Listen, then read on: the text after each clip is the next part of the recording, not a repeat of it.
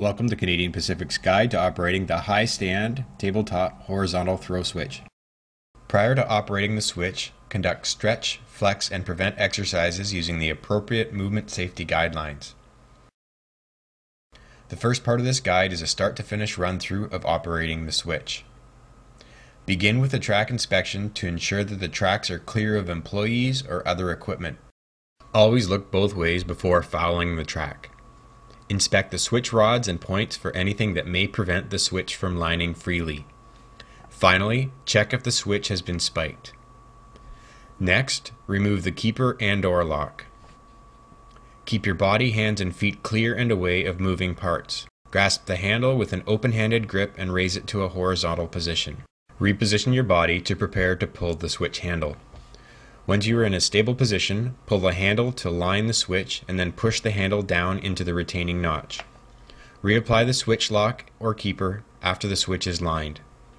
Conduct a final visual sweep of the points before leaving the area of the switch. Ensure the switch points are tight to the stock rail prior to allowing a movement to pass. Remember, lined, locked, and checked. If the switch gets stuck or stops abruptly while operating, do not force or overexert. Recheck the switch for debris, ice and snow in the switch points, and then retry. If the switch still cannot be lined, tag out, lock, and report the switch.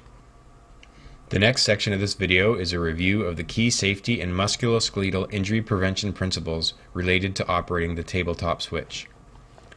Check the environment at and around the switch and switch stand looking for potential risk factors associated with the safe operation of the switch. Ensure adjacent and intended tracks are clear of employees, conflicting movement of rail cars, locomotives, or track equipment. Maintain at least 30 feet between the leading end of movement and the switch points in order to help keep the stock rail and points at the same level, reducing resistance when operating the switch. Inspect the switch rods and points for debris, ballast, ice and snow buildup, or anything that may prevent the switch from lining freely debris, or clean ice and snow as required to eliminate unexpected forces when operating the switch.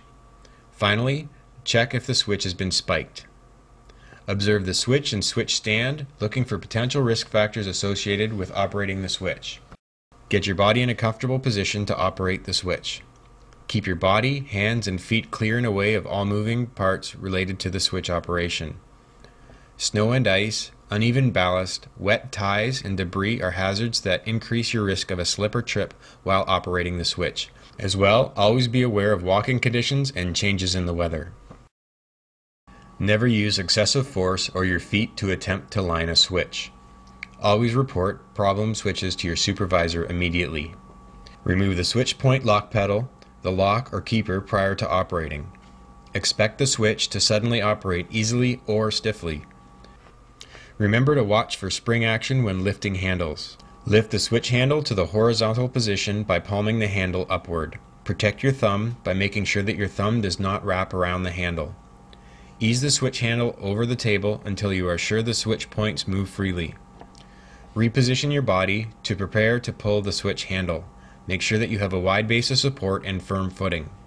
Ensure that your center of gravity stays between your base of support during the pulling motion. Check that your hips and shoulders are behind the line of pull. Maintain a neutral posture of the spine and keep your head and chest up.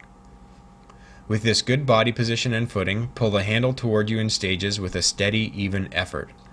Adjust your body position and footing as required. When near the end of the table, reposition your body to pull the switch the rest of the way and push the handle down into the opposite retaining notch. If the switch gets stuck or stops abruptly while operating, do not force or overexert. Recheck the switch for debris, ice, and snow in the switch points, and then retry. If there are no obstructions and the switch still will not move, tag out, lock, and report the switch. Conduct a final visual sweep of the points before leaving the area of the switch.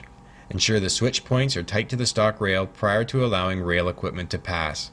For all switches, always remember, lined, locked, and checked.